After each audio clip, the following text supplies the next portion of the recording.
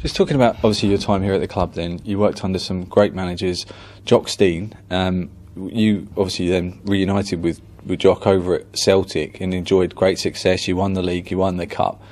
If he had stayed in charge of the Hibs, do you feel that Hibs would have ended that cup hoodoo and, and perhaps won the league again?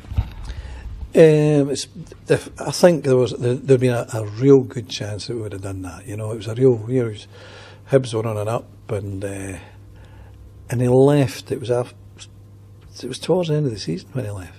You know, and we were we were going well in the league and we were going well in the cup.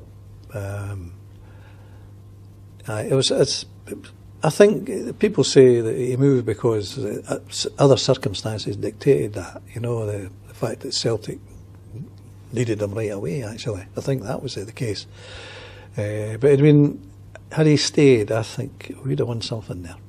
Definitely, and uh, obviously those events that happened, the Real Madrid friendly and and Barcelona, everything like that. I know you weren't obviously directly involved in something just before you kind of really established yourself in, in the team, but those famous European nights here, it must have been just a, a, pleasure to watch as a spectator and then later to be involved with as a player. Yeah, well, I, I can remember coming down here to see Hibs playing the likes of Roma and uh, teams like that, and then coming down to see them play Barcelona. Um, magical nights, you know, great nights at Easter Road. And then to think that years, a few, not that long after that, you know, Real Madrid here, and you were actually playing against them.